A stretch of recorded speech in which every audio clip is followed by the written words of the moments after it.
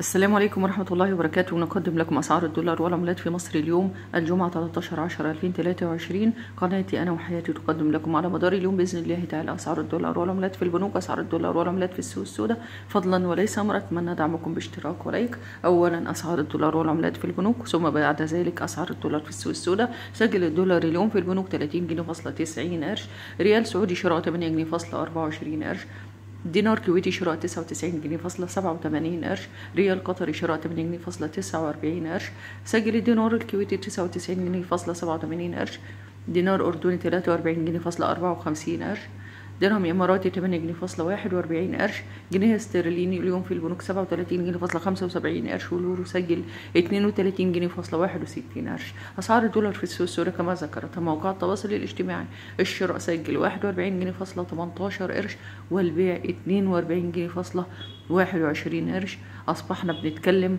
على 42 جنيه سعر الدولار في السوق السوداء. بشكر حضراتكم جدا. دايما وجودكم في قناتي أنا وحياتي شرف كبير ليا.